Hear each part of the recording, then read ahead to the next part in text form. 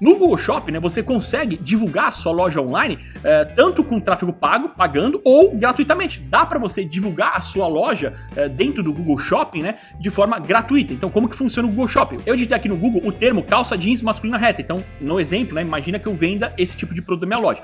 E aí, quando eu digito, nos primeiros resultados que aparece aqui, ó, é uma vitrine do shopping. Então, isso aqui é o Google Shopping, tá? Então, esses produtos que estão aparecendo são de várias lojas, né, é, que vendem o produto que eu digitei. Então, você vai aparecer aqui no Google Shopping, beleza? E aqui, né, tem a, o carrossel, você vai rolando pro lado, e no final do carrossel, que você clica em ver tudo, ele abre o shopping, né? Efetivamente o shopping do Google. E aí vão ter produtos patrocinados, que são esses aqui, ó, patrocinado. E também, nesse meio aqui, vão ter produtos uh, que não são patrocinados. Claro que os patrocinados eles ficam melhor posicionados, mas aqui também tem produtos que não estão pagando, tem produtos que não são patrocinados que aparecem aqui. Então, no Google Shopping, dá para você aparecer tanto na pesquisa paga quanto na pesquisa orgânica, né? Gratuitamente. E para você aparecer tanto no pago quanto no gratuito, você precisa ter o seu catálogo de produtos vinculado no Google. E para você vincular o seu catálogo de produtos no Google é através do Merchant Center, né, que é o Google Merchant Center. Então você vai criar uma conta no Merchant Center, é bem simples, tá? Com o seu próprio e-mail do Gmail, você cria uma conta no, no Merchant Center e lá no Merchant Center você vai vincular o seu catálogo de produtos. Você vai colocar lá o link da sua loja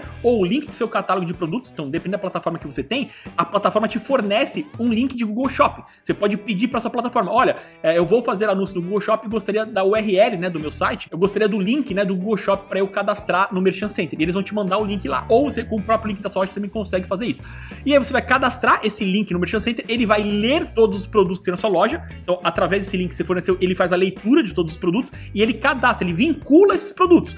Com os produtos vinculados no Merchant Center, você consegue exibir esses produtos no Google Shopping gratuitamente. E aí, se além de aparecer gratuitamente, você também quiser anunciar, aí no Google Ads você consegue criar um anúncio usando esse catálogo. Então, vou anunciar no Google Shopping, eu vou pegar o catálogo que já está cadastrado, né, já está vinculado no Merchant Center e vou colocar lá um valor para eu divulgar né, esses produtos do catálogo no patrocinado do Google Shopping. E aí, de acordo com a pesquisa que a pessoa fez, o Google vai entender se você tem aquele produto, se aquela palavra que, você, que a pessoa digitou tem no nome do seu produto, tem na descrição do, do seu produto e ele vai mostrar, né, aqueles produtos para as pessoas, beleza? E aqui tem um link, né, do Google Merchant Center para você cadastrar, né? Vou deixar aqui embaixo na descrição do vídeo. E aí ele vai abrir esse site aqui, que seria o Google para Varejo, né? É, o Merchant Center ele, ele mudou o nome para Google para Varejo, mas ainda é conhecido como Merchant Center, onde você consegue ó, fazer a vinculação uh, do seu catálogo para você divulgar seus produtos. E aí quando você faz essa vinculação no Merchant Center, você não aparece só no shopping não, né? Se a gente clicar aqui no shopping, ó, tá aparecendo exemplo de como apareceria, né, o seu produto no shopping, mas dá para você aparecer também no YouTube, ou seja, vai aparecer um produto seu lá no YouTube, pegando o seu catálogo, então você não vai criar um vídeo,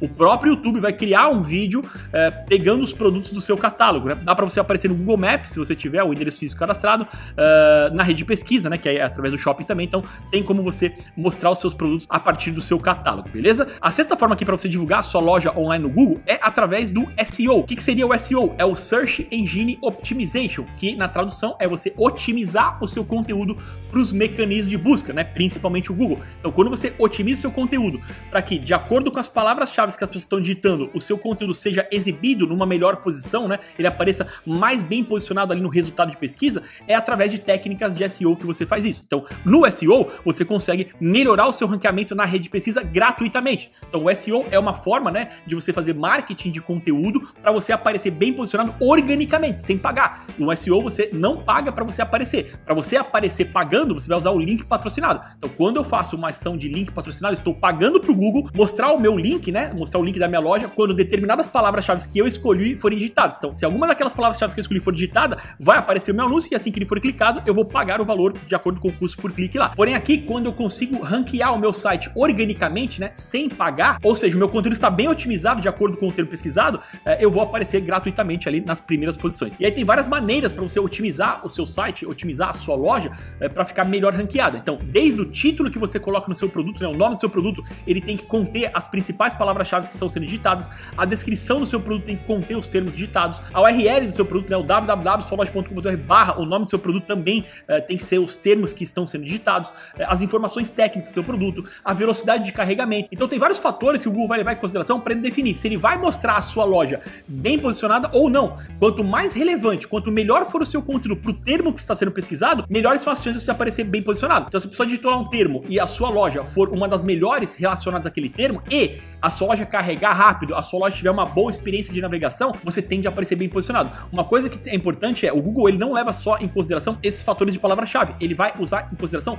vários fatores, são mais de 200 fatores que ele leva em consideração, inclusive essa questão da experiência do usuário, o usuário conseguir navegar na sua loja de forma fácil, de forma rápida. Isso é levado muito em consideração pelo Google, porque o Google ele quer entregar para o usuário dele a melhor experiência possível. Então, se tem um site que está lento, que a navegação é confusa, mesmo que esse site tenha as palavras-chave bem cadastradas, ele tende a não aparecer bem posicionado. Vão ter outros sites que vão aparecer na frente dele, porque a pessoa que entrar nesse site não vai ter uma experiência tão positiva, porque o site é lento, demora para carregar, ele é confuso na navegação. O Google ele não quer mostrar esse site, ele não quer destacar esse site para o usuário dele. Ele vai destacar para o usuário dele o site que for mais rápido, com uma navegação fácil e que tenham as palavras-chave relacionadas ao que foi pesquisado, beleza?